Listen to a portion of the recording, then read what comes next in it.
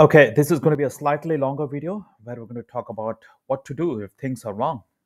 And um, in the previous videos, we covered that um, the conversion ratio is wrong, uh, the keywords are not converting, there's low sales. For example, this client has mentioned that um, she has low sales, and we need to figure out why, what's going on, um, and how we can improve that. Uh, so let's take up this campaign that has the highest spend and we work from there. The first thing that we need to do is we click on autopilot log and we check all the um, all the keywords that are performing. So here we can see that packing cubes, uh, right now the bid is at 0.03 and um, historically it has performed really well when it was around um, August 9 and August 19, 20. So the sale around August 19 and 20 is around 0.8 to 0.7. So we can make this bid as 0.7, 70 cents instead of 0.3. So we can override autopilot and make it 0.7 cent. Um, the other thing we could do is if you go to autopilot uh, setting and you click on advanced option, you can say jumpstart bid. So this will automatically do this task. It will uh, jumpstart the bid from 0.03 um, to the most, you know, um, respectable bid that was in the past. Uh, so it will override autopilot and choose the the best bid that has happened in the past or jumpstart you to that bid. Um, that's the first task you could do.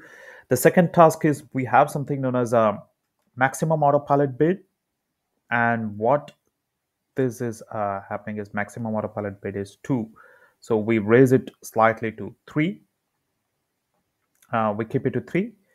And um, uh, because this has already 199 keywords, we don't want to add any new keywords. Uh, we just switch this off. We switch on remove bad keywords, which is already on. And um, yep, and then we save it um, over here where we are good. So we save this campaign. Um, now what we do is we go inside this ad group and two important part is remember how we had maximum autopilot bid? So autopilot would never go above that bid. Uh, three dollars is a good amount. Uh, you can usually make it four or five.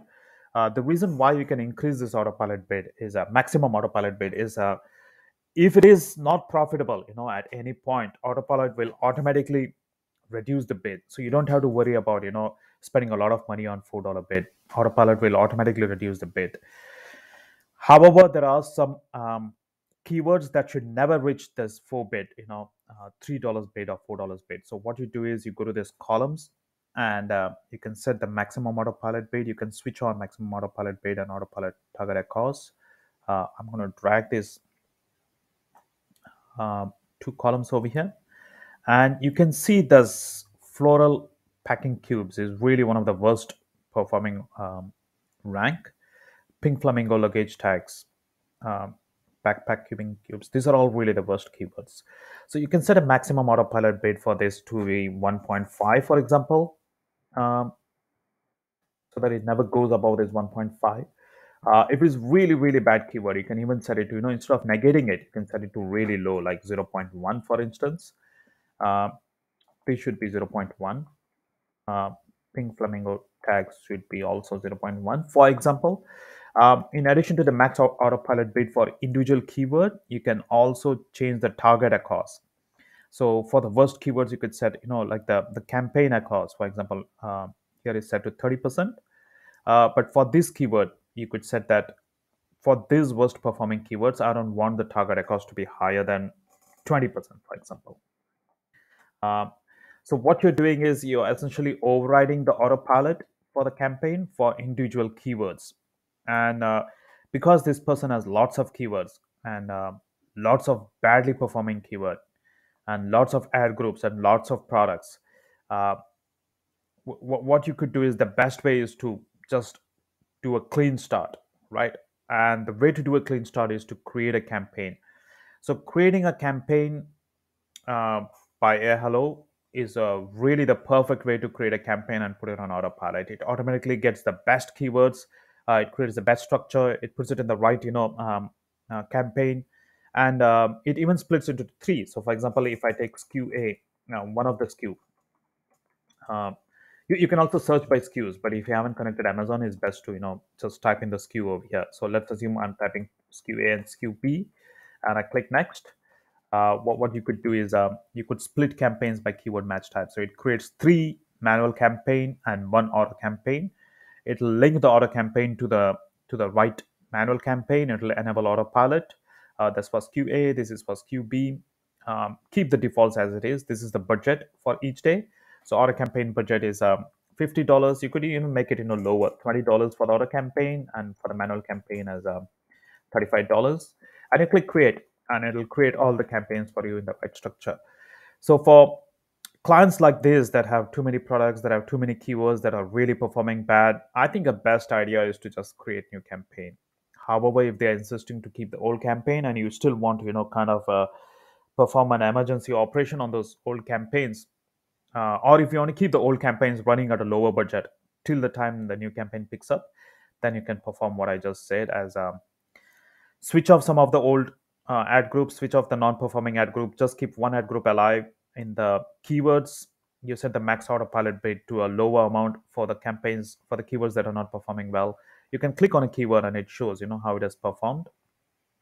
Uh, pink flamingo luggage tags, for example, has no sale. Uh, has not has spent a lot but has not sold anything. Uh, so you can check the the history of a, a particular keyword. Um, the keyword, the quality rank is just an idea. You could uh, check into each keyword and see which one has spent a lot and uh, has not performed, and you could reduce the max autopilot bid for that particular uh, keyword. So the bid, I'm going to bring it over here next to the max autopilot bid. So one point to remember is uh, you see the bid is three dollars, and we set the max autopilot bid to zero point one. Uh, autopilot will only reduce the bid if there has been any spend. If there has, not, has been no spend, it doesn't make sense to reduce the bid, right? Uh, if you want to reduce the bid immediately, so what you could do is you could just uh, double click this and you could set it to 0. Point, you know, for example, 45. Um, this to 0 0.35, uh, for instance. Um, so you could reduce the bid directly. Um, else, if you set the max autopilot bid, autopilot will wait till you have some spend and then keep on reducing the uh, the bid for that. So keyword quality rank is a good idea to find out which is a high performing keyword, which is not a high performing keyword. You can still click on individual keyword inside a autopilot and check how they're performing. And um, it's a bit of a you know laborious task when you have to troubleshoot autopilot like this. Uh, but hopefully this video has given you some idea of how to solve the, these problems.